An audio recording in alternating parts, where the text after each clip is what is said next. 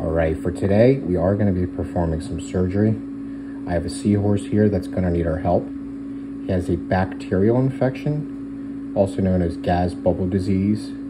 He has an infection in his pouch and the bacteria in there releases gas, which gets trapped and starts messing with his buoyancy. So he can't swim around properly and, and eat as comfortably and as easily as he could.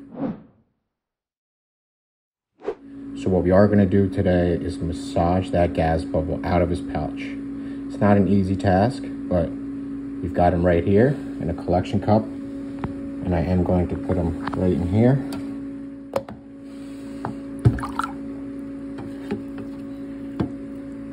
So you have more room to work. Also got some sewing needles here and some rubbing alcohol. We are going to pick one of these needles, not the smallest one, not the thickest one, somewhere in the middle. We are going to be using the blunt end of the needle. So not the pointy end, this blunt end. First thing you have to do is sterilize it.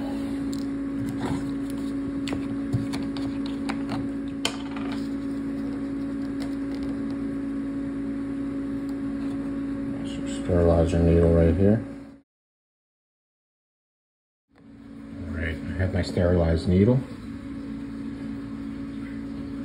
I don't have any gloves with me today, but if I did, I would recommend you use those.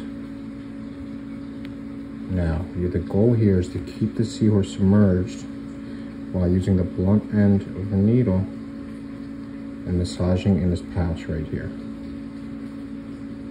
do not just go in there suddenly. Just gotta massage it in there. See the gas coming out? Go from the bottom, squeeze it all out.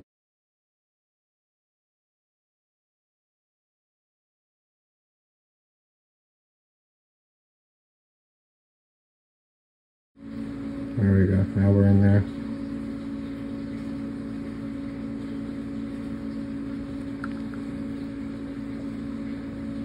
A lot of times you can get it, but there's always a little more in there.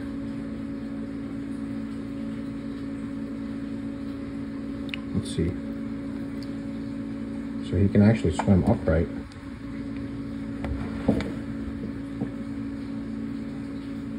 Should be good enough for now.